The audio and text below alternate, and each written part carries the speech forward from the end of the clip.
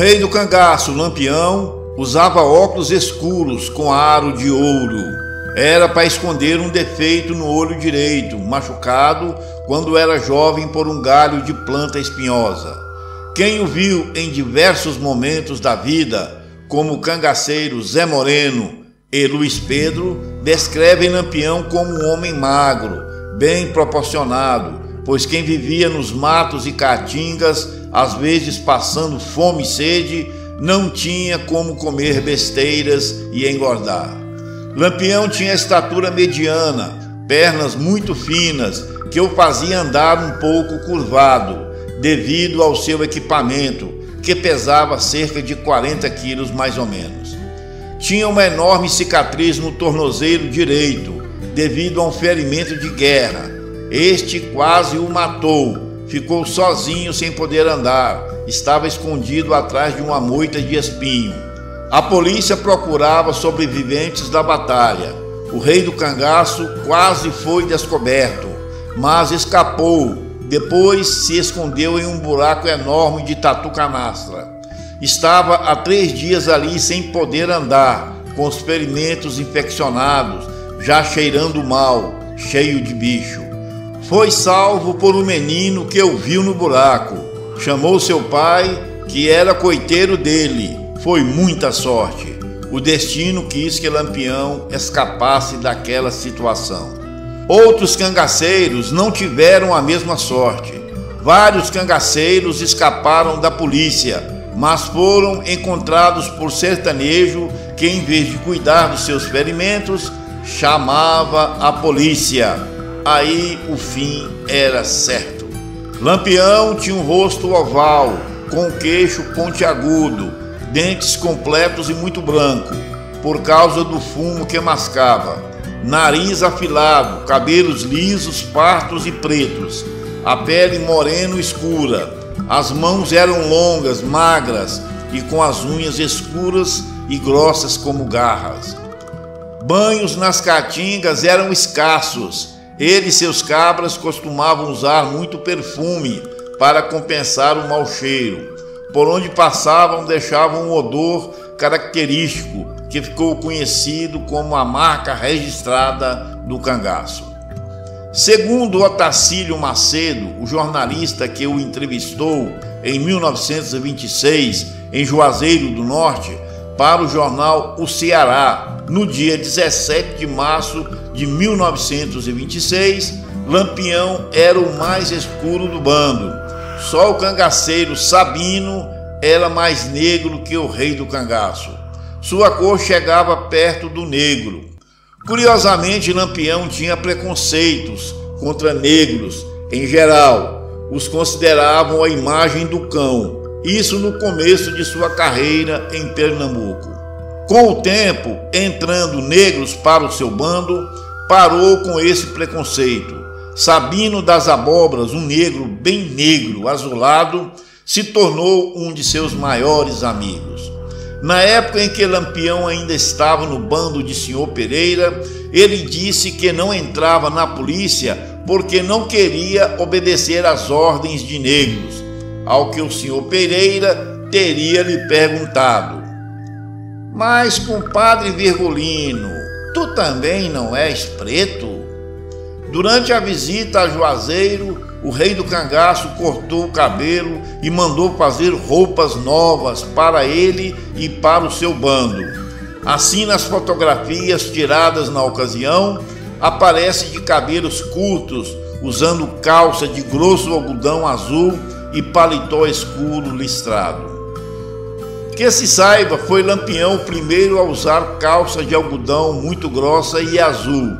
Poucos anos mais tarde se originou a calça jeans. No encontro com o padre Cícero, não ostentava o chapéu típico dos cangaceiros, com enfeites na aba virada para cima, tendo preferido ser fotografado com um chapéu comum, com um chapéu de feltro simples. Para ser recebido pelo padre Cícero, calçava as tradicionais opercatas de couro, usada por vaqueiros há muitos anos. Ao redor do pescoço usava um lenço vermelho, preso por um anel de brilhantes e de ouro. Nos dedos, outros seis anéis de pedras preciosas, um anel de rubi, um de topázio e um de esmeralda e mais três brilhantes. Tudo isso foi roubado. Em fotos posteriores, Lampião aparece com cabelos longos, com o chapéu tradicional de cangaceiro enfeitado com várias moedas e medalhas, usando roupas comuns. Lampião nunca mais se separou da calça de um tecido grosso de algodão azul, parecido com a calça jeans que conhecemos hoje. Dizem que Lampião foi quem usou o primeiro jeans no mundo. Os acessórios lhe davam uma aparência impressionante, com a cartucheira tiracolo. Era o que mais chamava atenção. Tinha 15 centímetros de largura, duas fileiras de botões de ouro e prata e quatro de cartuchos com capacidade para carregar cerca de 400 balas. Andava sempre armado com um rifle, uma pistola e um punhal de 65 centímetros no cinto. Dizem que nunca errava um tiro e sabia enfiar o punhal na carne através da clavícula, atingindo diretamente os órgãos vitais dos inimigos. Só matava inimigos. Ganhou o apelido de Lampião ainda no começo da carreira quem lhe deu o apelido de Lampião foi o seu antecessor, o senhor Pereira. Isso porque na época Virgulino atirava até o cano do rifle ficar vermelho vivo. Sua espingarda tinha um clarão, tal qual um lampião, dizia senhor Pereira. Sobre a sua origem é que o bisavô de Lampião era um português de sobrenome Ferreira Dizem que o nome Ferreira veio de Herrera, nome espanhol, que emigrou para Portugal e se tornou Ferreira, e naturalmente migrou para o Brasil, principalmente para as antigas capitães do Nordeste. Esta é a descendência de Lampião e sua família. Lampião carregava diversas bolsas, levava tiracolo presas ao corpo, duas cobertas muito bem traçadas de tal maneira que não se desprendiam nem quando guerreavam, pulavam, rolavam. Muitos desses utensílios, seguros ao corpo, salvaram a vida de vários cangaceiros. Balas ficaram enroscadas em cobertores, chicoteava ou amenizavam o impacto. Lampião e cangaceiros nunca carregavam moedas ou as aceitavam como pagamento, porque pesava muito usava-as apenas as de ouro e prata, com grande valor comercial. Uma moeda de ouro na época comprava 30 vacas. As cédulas de dinheiro de grande valor eram engomadas e passadas a ferro em uma espécie de bolsa de pano que mandava costurar e da qual nunca se separava, levando-a presa à barriga. Desses bornais amarrado ao corpo originou-se as bolsas tiracolo de ouro. Lampião pagava bem aos que o serviam, mas era implacável contra os que se recusavam a ajudá-lo. Se pedia alguma coisa emprestada, podia-se ter certeza de que Lampião a devolveria. Lampião era conhecido como homem de palavra. Bebia, mas moderadamente, nunca ficou bêbado falando ou fazendo besteiras. Quando bebia, dava preferência às bebidas mais requintadas, como conhaque macieira e vinhos importados. Gostava mais do vinho do Porto. Não gostava de uísque, dizia que era bebida de afeminado. Desconfiado, temendo ser envenenado, fazia sempre com que a comida que lhe era oferecida fosse antes provada por outros, principalmente pelo dono da casa, e sempre usava uma colher de prata especial que fica preta em contato com qualquer produto tóxico. Não falava aos membros do bando sobre o que conversava com os coiteiros e com os coronéis com quem mantinha negócios montou uma estratégia fascinante, um sistema infalível para o recebimento de munição.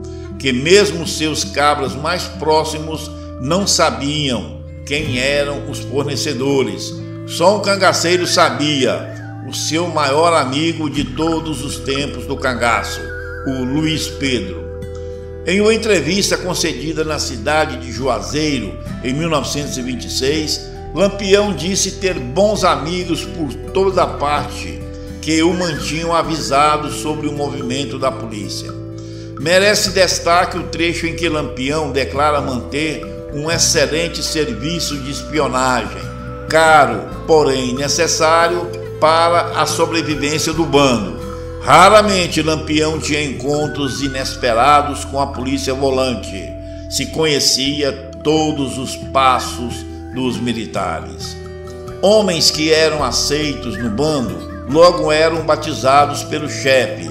Recebia logo um apelido dado por Lampião, que preferia nomes tirados de lugares, pássaros, animais e forças da natureza como Quixadá, Sabiá, Jararaca, Corisco, Arvoredo, etc. Era fácil fazer amizade com ele. Quando estava alegre, sorria facilmente, porém às vezes mudava o seu humor rapidamente ao ver ou ouvir algo que o desagradava. Detestava mentirosos e falsos. Devemos nos lembrar que Lampião não nasceu em um ambiente do mal. Muito pelo contrário, nasceu em uma família religiosa. O que o tornou um bandido e assassino foi as injustiças cometidas contra ele e seus familiares. Um dos maiores inimigos de Lampião, por ironia do destino, foi um amigo de infância, o Zé Saturnino, que no final da vida deu um depoimento dizendo estar arrependido por ter provocado e afrontado Lampião e sua família. Lampião passou boa parte da vida atrás de Zé Saturnino para matá-lo. Zé Saturnino disse que ficou 20 anos preso na jaula do medo, sempre se mudando de residência que nem cigano, para que Lampião não o encontrasse. Lampião até o encontrou, mas desistiu de matá-lo atendendo um pedido de misericórdia de sua madrinha de batismo, a mãe do frouxo metido a valente. Zé Saturnino estava escondido debaixo da cama, mas deixou bem avisado que ele sumisse, pois a próxima vez que pôr os olhos nele seria o último dia dele na terra. Poucas pessoas sabem, até historiadores não sabem que Zé Saturnino para não morrer nas mãos de Lampião, se mudou para o estado do Piauí. Se picasse, seria morto. Como correr de um bando de 60 cabras em média? O rei do cangaço se vestia impecavelmente quando ia se encontrar com autoridades, coronéis, fazendeiros, militares de alta patente para negociar a compra de munição e armamentos. É isso mesmo que você ouviu. Tenentes e coronéis da polícia vendia armas e munição para Lampião. Pasmem! Lampião comparecia com grande pompa e seriedade. A sua presença provocava respeito e temor. Lampião amava festas e danças ao som da sanfona e de distribuir cachaça em abundância, mas ele bebia pouco não gostava de se embriagar. Dizia que a pinga amolece o juízo do cabra. Quando tinha oportunidade, o bando descansava e jogava um baralho. Seu jeito de conversar era amigável, mas seu jeito de comandar e aplicar sanções aos inimigos e até subordinados era sério e rude. Isso fazia do cangaço um ambiente amigável e tornava o bando um grupo leal e unido. No acampamento, alimentados à base da modesta dieta de carne seca, cabrito, carne de vacas, porcos assados, farinha e rapadura. A bebida era farta, Lampião era quase sempre muito animado. Lampião chegou a contratar um sanfoneiro, mas no primeiro combate do músico acertaram um tiro na sua sanfona e o sanfoneiro, muito medroso, abandonou o fole furado e sumiu no mundo. Nunca mais foi encontrado. Na falta de mulheres, os homens dançavam uns com os outros. As gracinhas eram sempre motivo de muita gargalhada e chacota. Mulheres só passaram a integrar o bando depois de 1930. Os assaltos às cidades, quando bem-sucedidos, eram seguidos de grandes farras.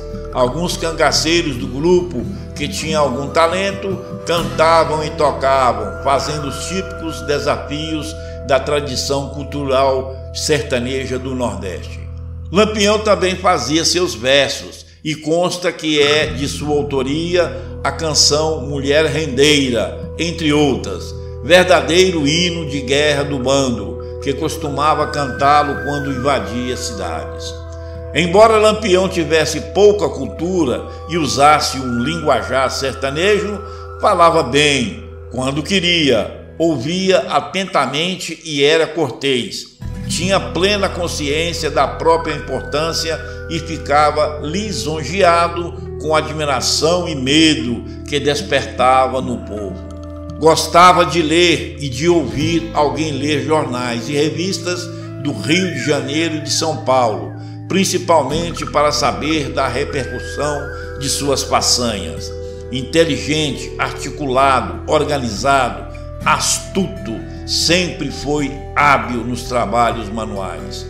Lampião fazia caridades, pagou centenas de tratamentos médicos para sertanejos desvalidos, mandava abrir grandes armazéns abarrotado de cereais e mandava o pouco saquear, levar tudo.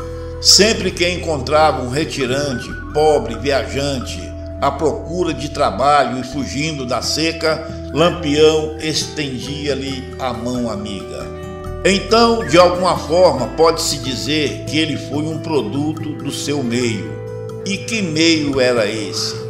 O meio do governo e polícia corrupta. Mexeram com o cara errado. Lampião e seu bando matou mais de dois mil soldados e oficiais, eliminou mais de 200 civis entre pessoas traidoras, inimigos e delatores, e até coronéis fazendeiros. Em 20 anos de cangaço, Lampião perdeu 300 cangaceiros. Então pode-se dizer que na guerra do cangaço, a luta contra a opressão e injustiças sociais, o movimento cangaceiro saiu de cena com a vitória. Certamente, criar Lampião não foi bom negócio. Se você gostou, deixe seu like. Clique na sua telinha na próxima história do cangaço. Grande abraço a todos, minha cabroeira. Por quê? Porque eu! Tô indo!